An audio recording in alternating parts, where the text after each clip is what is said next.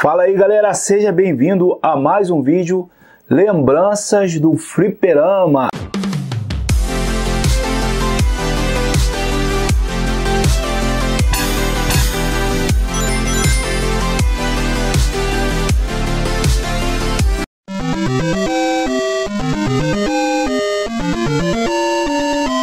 É, vocês estão lembrando onde eu parei?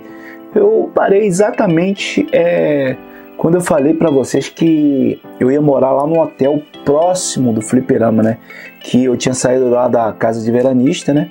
Que a moça praticamente estava me explorando, como eu disse vocês.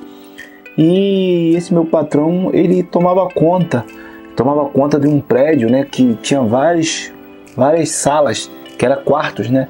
Que era hotel. Só que era hotel de veranista. O pessoal ia lá só final de ano, às vezes não ia e ele falou: Ó, tem um quarto lá vazio, fica lá você e sua esposa lá.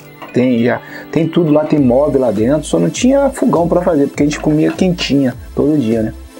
E fomos morar nesse hotel, né? E descendo a escada, virando à direita, já estava no fliperama. E para mim foi uma aventura diferente, né? Porque eu me vi do nada, né?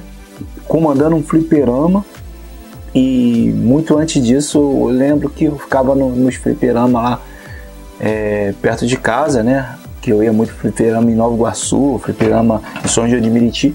E de repente eu me vi tomando conta de um fliperama, né? Uma, uma, uma, uma coisa muito diferente para mim, muito bacana, né?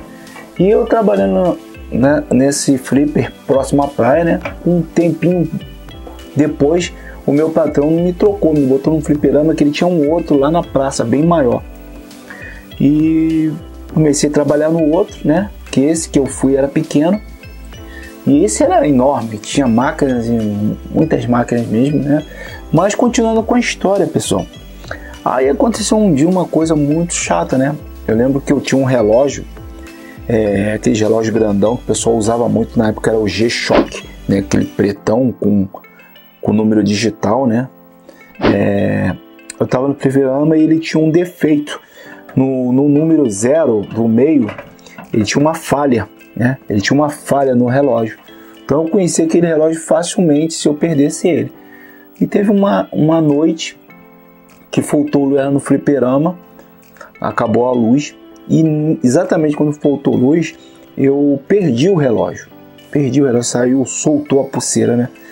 E eu, quando voltou, eu olhei, cadê o relógio? Não achei o relógio, né? E fiquei muito triste, porque aquele relógio na época ele era caro, o G-Shock era caro pra caramba, não era barato não. E passou um dia, passou dois dias, eu lembro que eu tava na, no fliperama lá, vendendo ficha, e lá tinha muito essa galerinha, a gente chamava de filhinho de papai, né? Gente com grana, que, que o pai tinha casa lá de veranista e ia passar lá nas férias, né?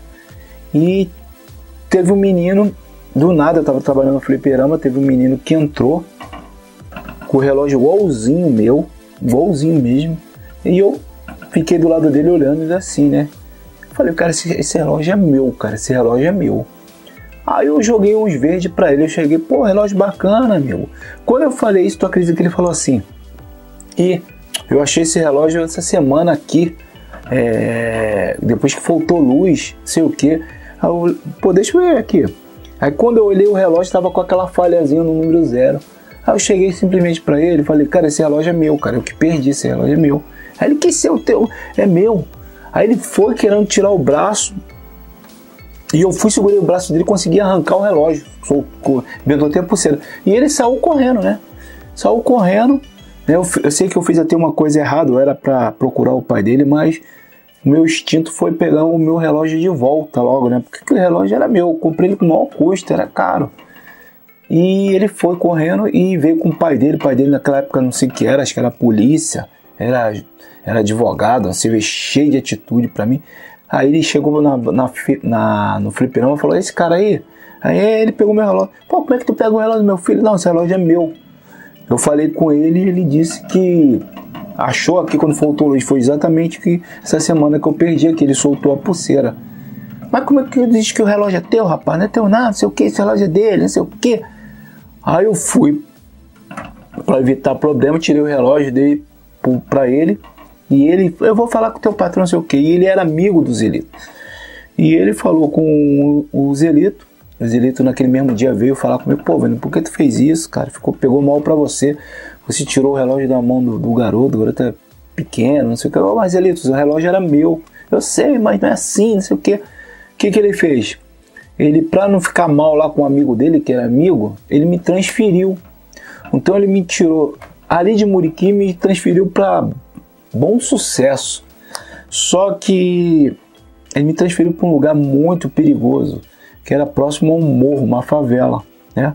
E eu fui do céu para o inferno, né? Que chegando lá, comecei a trabalhar num fliperama, grande, era maior do que esse até, só que só frequentava pivete, vagabundo.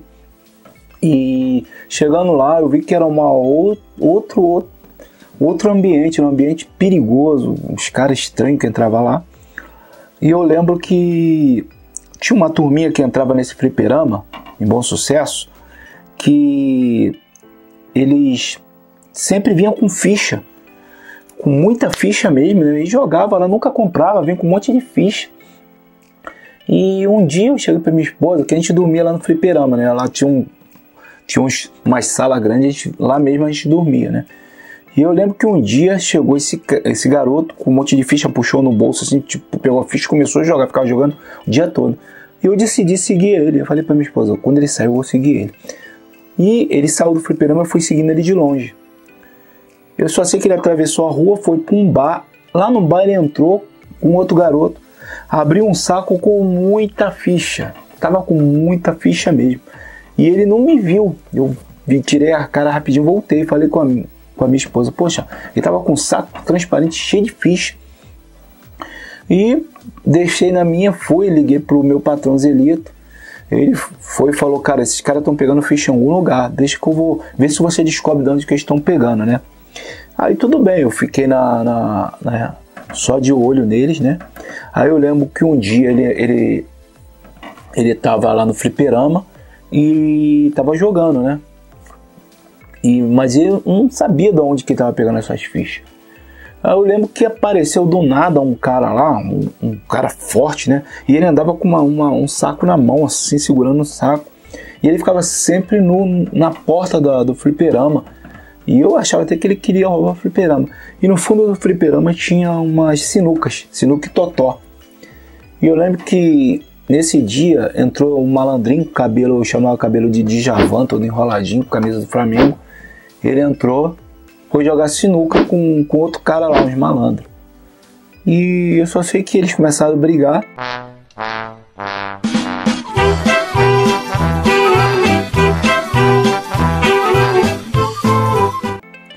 Aí ele bateu com o taco em cima da mesa, quase quebrou o taco.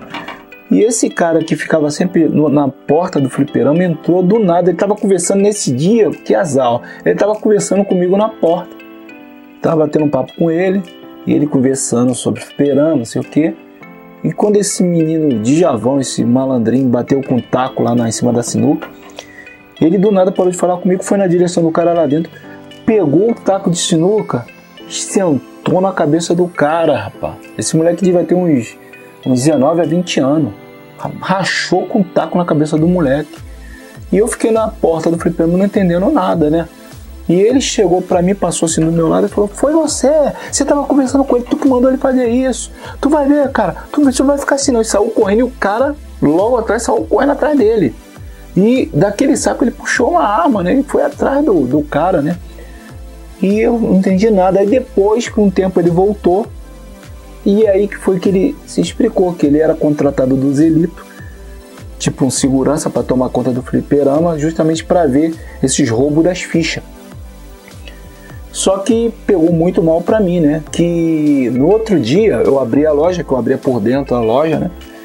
Logo quando eu abri a loja, esse menino de Javan, né? Que levou a paulada com o cabo de sinuca, ele tava na esquina e veio na minha direção, eu já fiquei nervoso. Aí ele chegou assim para mim e falou assim: Ó, seguinte, meu irmão quer conversar contigo lá no morro que era o próximo, próximo do, de um morro lá, né? Você tem no morro, o nome do morro acho que é Largatixa, Morro da Largatixa. Acho que é mais ou menos isso, eu não sei, aquele morro, era uma favela. Ah, meu irmão quer falar contigo lá no morro. E eu calmamente sabia que não era conversar, ele queria outra coisa, queria até de repente me matar. Né? Aí eu falei com ele: não, eu vou lá falar com ele, vou fechar a loja aqui, eu vou lá, né? E graças a Deus nesse dia minha esposa nem estava lá, né? Ela não estava lá, ela tinha saído. E eu fechei a loja, fui.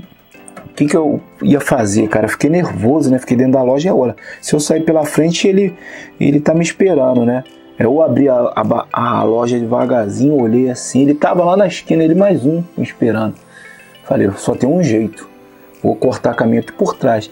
E lá atrás, no fundo da, da, da, da do fliperama, tinha uma, um murinho que dava pro acesso a uma cozinha de um bar, né? Que era de um japonês, é um, uma lanchonete. Aí eu falei, vai ser aqui mesmo, vai ser aqui mesmo. Eu fui, pulei, quando eu me vi, eu estava dentro da, da, da, cozinha do, do japonês. O japonês se assustou. Aí eu falei, cara, deixa eu passar, pelo, pelo amor de Deus, eu trabalho ali no fliperama, tu sabe. E os caras querem me pegar ali fora. Um negócio que aconteceu ontem. E ele já sabia, ele falou, cara, já sei, já sei, já sei o que aconteceu ali. Já sei, os caras querem te pegar aí, passa por aí. Aí eu passei pela porta da lanchonete, olhei assim na, na porta da lanchonete, que dava do lado assim da esquina. A esquina era bem lá na frente. Eu olhei, eles estavam virados, olhando para a loja, né? Quando eles viraram de costas, eu saí correndo, atravessei a rua que dava de frente para a estação. Foi aí que eu peguei o, o, o trem em direção, voltando para Muriqui, né? Que eu tinha que pegar um trem para ir para Santa Cruz, Santa Cruz pegar um ônibus para ir para Muriqui. E voltei lá, né? Chegando lá, né, eu, eu liguei para ele falando que aconteceu isso, o cara falou. Aí foi aí que ele me disse lá, não, esse cara eu contratei mesmo, ele é um segurança. Só que ele quer, me, me sujou lá, né, o Zelito. Ele bateu com um cabo na cabeça do garoto, rachou a cabeça do garoto e, e ele tava conversando comigo, tu acha que eu que mandei. E eu não vou voltar a trabalhar lá não. Pô, não, vamos lá, não tem nada a ver. Falei, não, não, não vou trabalhar lá não, cara. O cara é da favela, quer me pegar. Pô, mas a loja tá fechada lá. Vamos lá que a gente vai conversar com ele. Aí por muito custo ele me botou num fusquinha que ele tinha. Voltamos lá para Bom Sucesso. Aí ele parou o carro do lado da loja e eu abri a loja, né? Ficamos lá. Nisso chegou o, esse Djavan, né? Que queria me pegar lá. Aí eu falei com o Zelito, é ele, Zelito. Pô, o que aconteceu? Pô, aí o Zelito foi lá, falou com ele, pô, meu amigo, ó, é, o que que aconteceu aí? Não, o cara bateu com o taco na minha cabeça, não, foi eu que contratei ele aí, não sei o que.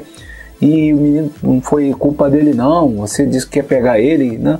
Não, tudo bem, tudo bem. Já esqueci, já, já esqueci, já tá tudo tranquilo. É... Ninguém quer pegar ele não.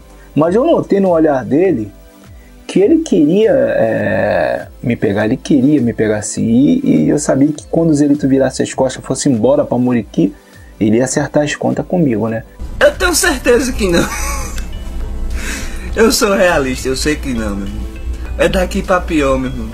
Mas aí o que, que eu fiz? Eu falei, Zelito, não vou trabalhar aqui não. Não vou trabalhar. Leva mal não, mas não vou trabalhar aqui. Aí por muito custo, é, eu fiquei aquele dia, Zelito foi embora, eu fiquei trabalhando naquele dia, né? E com medo desgramado, mas sabendo que a qualquer momento ele ia cruzar lá no, na, no, no fliperama de novo, né?